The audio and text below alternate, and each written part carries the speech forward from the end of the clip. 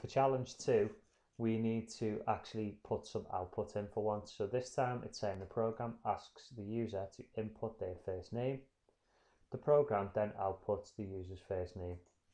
So it's not exactly the most useful program, but it's putting together some skills that we've just learned. So name equals input, enter your first name. And then to output something, we use the command called print. And then in brackets after it, you tell the computer what you want it to print out. So I'm going to print out name.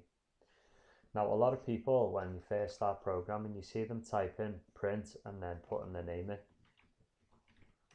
like this, or you see them printing and then type in just random words in without the speech marks. And if you do that, it's not going to do anything because the computer doesn't know what that is. What you have to print out is the variable. So on your blank piece of paper that you've called name, you would write in that name. Then when you press print, it would print out what you what you've done. So if I put in name and run the program, type in my name and it prints it out underneath. That is challenge two done.